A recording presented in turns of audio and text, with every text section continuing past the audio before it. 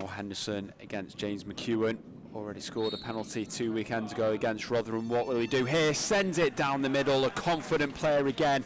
And Ian Henderson continues this record at Salford. That's three goals in four games for him. So does he go the same way? Or does he try something different? Certainly versatile, the way he's taking penalties. Staggered run up.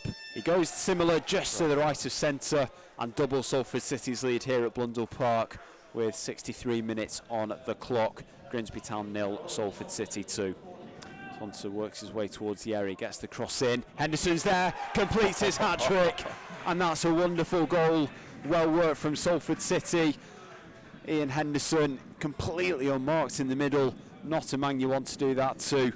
Heads in, Ashley Hunter's cross, and it's Grimsby nil, Salford City 3. Well, I think that's a sign of things to come this season, isn't it?